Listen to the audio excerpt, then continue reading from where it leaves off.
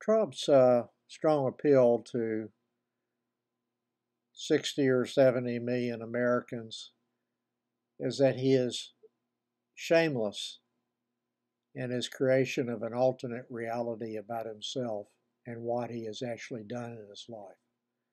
To accept that alternate reality, tens of millions have chosen to be willfully ignorant of the facts underlying those reality creations and are consequently willing to accept them as true when they are demonstrably false.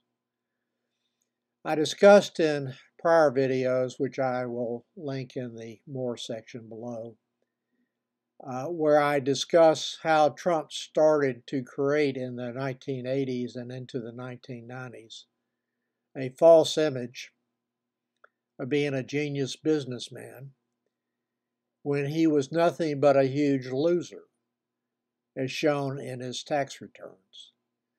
I would estimate that there are no more than 10 people, maybe no more than five, that have reported a more than $900 million loss on their individual tax return for one year.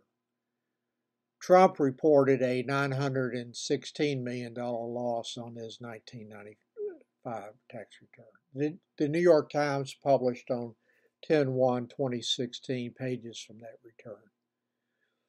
In Trump's America, that information does not contradict in any manner, shape, or fashion his self created image of being a genius businessman, but simply shows how smart he is in evading uh, taxes or something like that impossible for me to understand the Trumpster logic on that one. This is my third video discussing the New York judge, judge's finding that uh, regarding Trump's fraudulent uh, financial statements that were used to lower financing costs on loans and to acquire property that, according to the judge, could not otherwise have been acquired uh, if uh, if Trump had been using honest, honest uh, financial statements. Yes, I know that Trump is a good Christian based on what I've been told by Christian evangelicals and what I've read online. Even though he's unable to cite a favorite Bible passage and is more likely to have read Hitler's speeches as claimed by one of his ex wives than the Bible. The uh, next fraudulent valuation that I will be discussing now, as found by the court, involved Briar, Briarcliff, a potential project involving 71 condominium units on undeveloped land in Briarcliff, New York. The appraiser valued the property at $45 million. Eric Trump told a Trump employee to value the property at 101 million, even though he knew the appraised value was less than one half of that sum.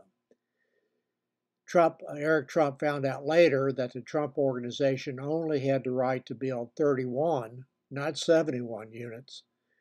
Notwithstanding that knowledge, the Trump financial statements continued to state it had the right to build 71 units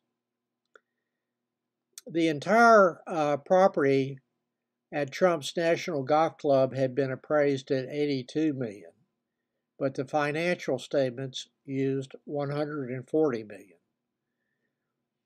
Uh, as to Park uh, Trump Park Avenue property, valuation was based on internal uh, Trump International Realty spreadsheets and ignored the quote, current market values, end quote, numbers on the same sheets. The current ma- market value part of, this, of the spreadsheet was removed prior to sending it to Mazars, M-A-Z-A-R, the independent accounting firm. There were 12 rent stabilized apartments at Trump Park Avenue, a known fact, which makes them worth far less than non rent stabilized apartments. Those apartments were then valued as if they were not rent stabilized and valued at an aspirational price, overvaluing them by as much as 700%. I will have at least one more video on this subject.